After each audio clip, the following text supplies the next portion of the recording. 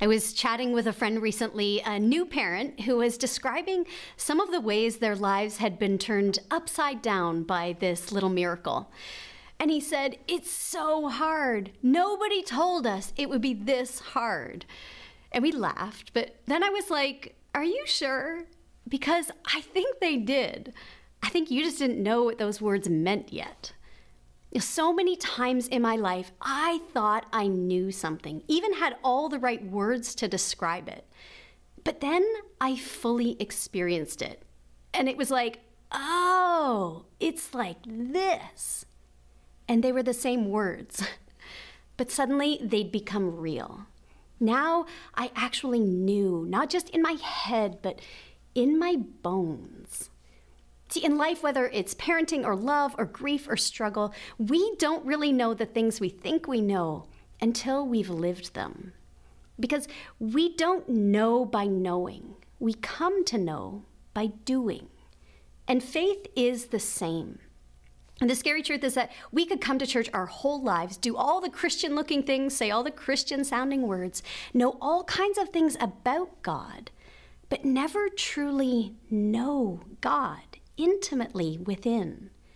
In the book of Matthew, Jesus said, Not everyone who says to me, Lord, Lord, will enter the kingdom of heaven, but only the one who does the will of my Father who is in heaven. He says that some will be surprised when he turns to them and says, I never knew you. Now, there's a world of difference between knowledge in your head versus an experiential knowing in your spirit. Now, one barely touches your life. The other one leaves virtually nothing untouched in your life. All this month, we've been talking about what faith is and isn't. And this morning, the reminder is that true faith is not in your head, it's not in theory. Real faith is embodied, it's in our footsteps, in what we actually do.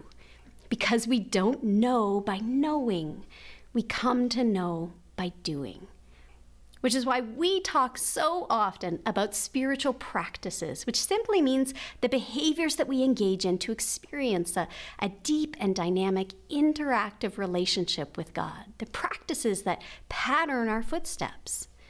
But that doesn't mean that we're trying to force spiritual transformation by our own white knuckle efforts.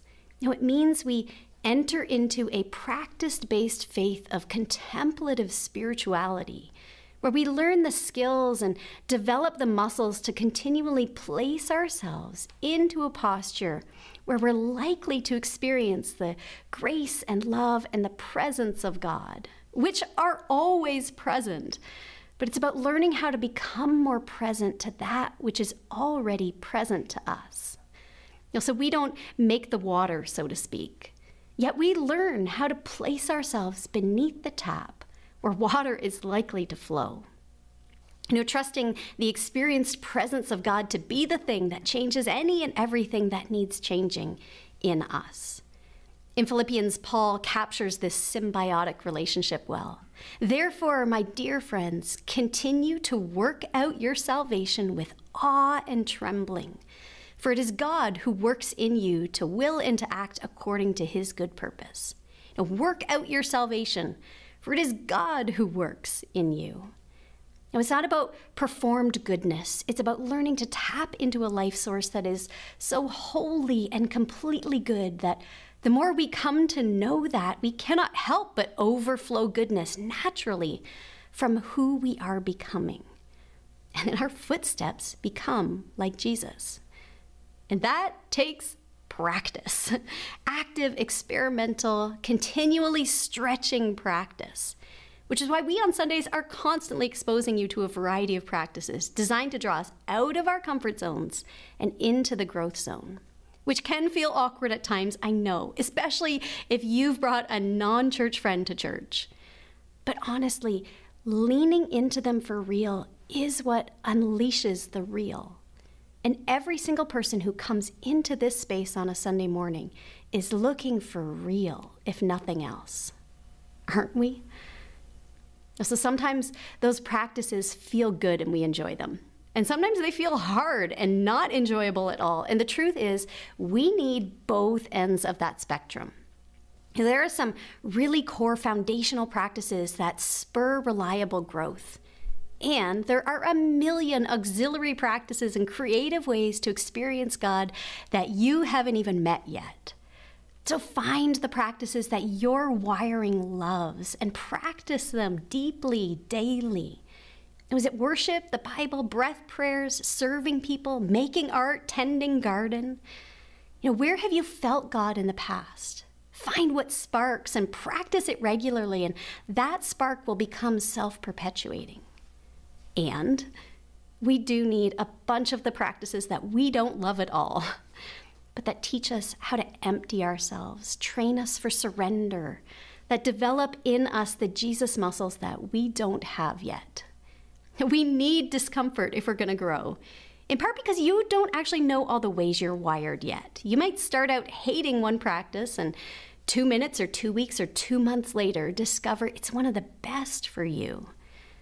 But even when that doesn't happen, we deeply need those practices fasting, repentance, forgiveness, because that is the way of the cross. And death paves the way for resurrection. I'll tell you the practice that is both hardest and best for me personally, and that's practicing Sabbath. I find it hard to set aside the needs of work and the noise of the world for an entire day to simply rest and delight and say that God's goodness is enough. And it's without a doubt the practice that both sustains and spurs new life inside of me, that resurrects me again and again more than any other.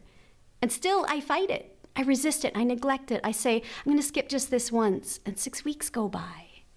And it is life. There's no sense to it, except that I am stubbornly human. And this is the struggle.